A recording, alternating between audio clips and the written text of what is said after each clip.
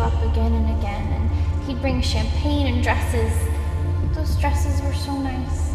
They felt so soft on my skin. At the end of the day, a lot of it has to do with supply and demand. Sex trafficking is a huge problem around the world, including in the United States. And you might be surprised to find out where sex trafficking is most prevalent.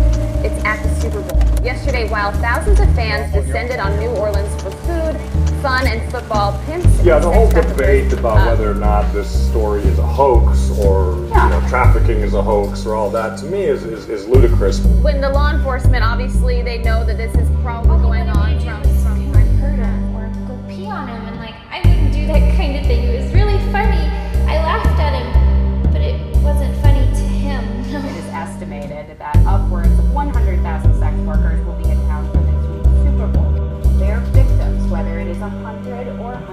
100,000. He'd get kind of mean if I didn't do what he wanted me to.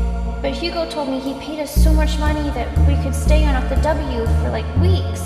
I couldn't believe it, but I told him no, I didn't want to do it with him again. And he tried to tell me how much we needed the money, that we had to pay some other people and we couldn't stay at the W no more unless I met more guys like that one.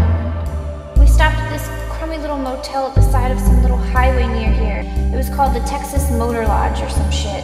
Mexicans stayed there. And we was fighting then, and he wouldn't let, let up.